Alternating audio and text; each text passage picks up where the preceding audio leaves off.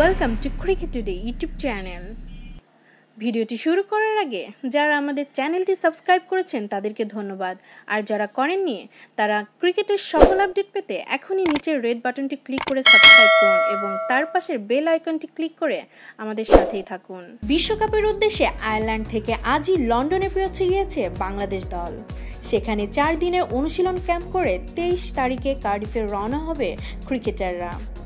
প্রথমবারের মতো ত্রিদেশীয় সিরিজ জয়ের উৎসব চলছে এখনও কিন্তু যাদের সুবাদে আয়ারল্যান্ড থেকে বাংলাদেশে ছড়িয়েছে উৎসবের রেণু, তাদের কি আর বসে থাকার সুযোগ আছে? প্রথম সিরিজ জয়ের চব্বিশ ঘণ্টার মধ্যেই নতুন মিশনে যাত্রা শুরু করেছেন সৌম্য সরকার, মুস্তাফিজুর রহমানরা।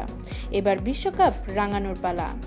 সে উদ্দেশ্যে আয়ারল্যান্ড থেকে আজই লন্ডনে পৌঁছে গিয়েছে বাংলাদেশ দল। সেখানে চার দিনের অনুশীলন ক্যাম্প করে তেইশ তারিখে কার্ডিফে রওনা হবে ক্রিকেটাররা। পুরো দল অবশ্য লন্ডনে যায়নি। ব্যক্তিগত কারণে ঢাকায় ফিরেছেন অধিনায়ক মাশরাফি বিন মর্তুজা।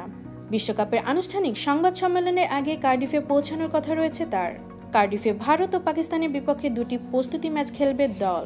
আনুষ্ঠানিক সংবাদ সম্মেলন হওয়ার কথা রয়েছে তেইশ মে, আর বিশ্বকাপের স্কোয়াডে বাইরের সদস্য তাসকিন আহমেদ, ফরহাদ রেজা, ইয়াসির আলী ও নাইম হাসানরা ফিরে আসছেন দেশে।